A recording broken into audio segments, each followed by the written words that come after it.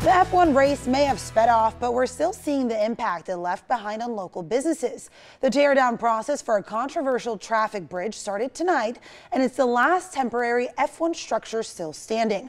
Our Ryan Ketchum is live near that bridge on Koval and Flamingo. And Ryan, I know that I spoke to some of those business owners on Thursday. They were happy that this news was coming, but today that teardown is happening. So how, how are they feeling today?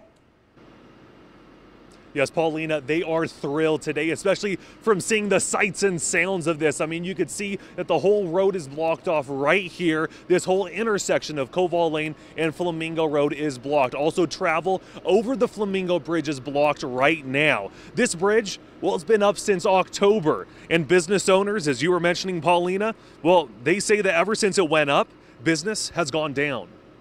Ever since the F1 is here, it wasn't really good for us, but we've been lost a lot of business, a lot of money, a lot of customers not been coming to here because of the bridge. Simran Singh and her husband Jimmy manage the Las Vegas souvenirs and gift shop on Koval Lane. They say since the bridge went up, they've only been getting about 10 to 15 customers a day.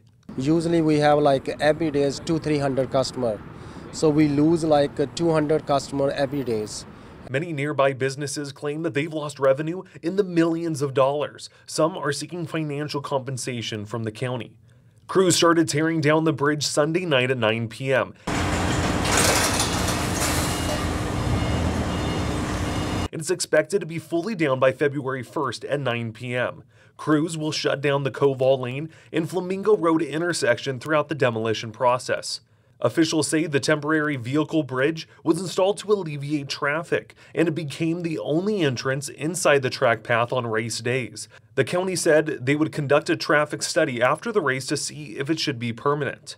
This is not the only F1 related construction project underway, though. Crews are already prepping for the 2024 Las Vegas Grand Prix. There are single lane closures on Koval Lane, between Harmon Avenue and Westchester Drive, Sunday night to Thursday during the hours of 9 p.m. to 6 a.m. for utility work. Some locals tell me they're sick of seeing more F1 construction. I think it's had quite a bit of effect. Most people really try and avoid this whole area for the most part. It's really uh, messed up for, you know, cones and the construction still on the road. It's not even clear. It's hard for us to get in and I, I'm sure the customer also probably be confused about that. This temporary bridge, though, it won't be down forever. This temporary bridge is expected to be back up again for the 2024 F1 Las Vegas Grand Prix, which will take over Las Vegas November 21st through the 23rd.